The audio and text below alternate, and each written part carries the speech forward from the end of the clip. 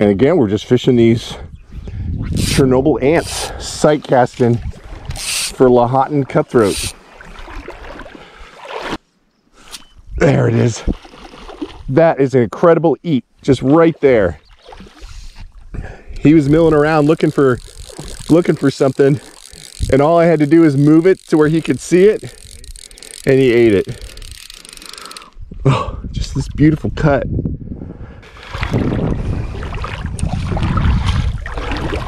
Oh, beautiful fish. Wow. Look at this guy.